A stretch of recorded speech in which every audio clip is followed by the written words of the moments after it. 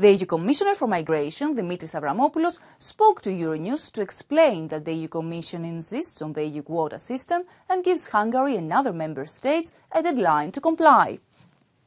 First of all, in the field of relocation, only 14% of the ones that were supposed to be relocated um, uh, have been already.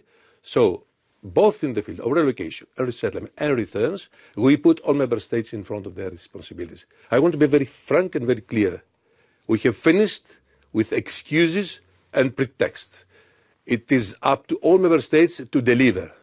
And I believe that by putting a sort of a deadline, end of September, this is the message we sent today from here, from Brussels, and we can do it.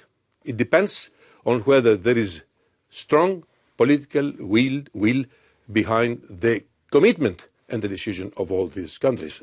Governments and political parties must understand that uh, they cannot address only their domestic audience. It is the moment for them to take up their responsibilities in order to contribute to our common European policies. I say common because we shouldn't forget, that one year and a half ago in Luxembourg, a decision was made. And all member states are bound